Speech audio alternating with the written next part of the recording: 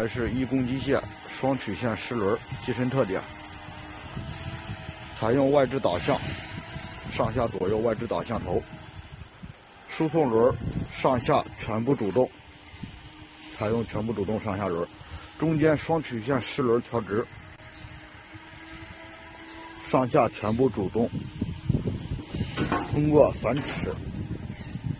压轮传动，最新款多孔式除锈，除锈彻底。外置旋转式清灰与除锈油漆中间的一个隔断，灰尘的一个隔断。最新款的水轮式旋转刷漆，刷漆均匀省漆。外置、内置两个轮的一个自动掉落轮，一人操作，不需要人接管。本机采用双电动机、双减速机传动，机身长度三米三八，高一米三，宽九百，重量一点五吨，总功率十二个千瓦。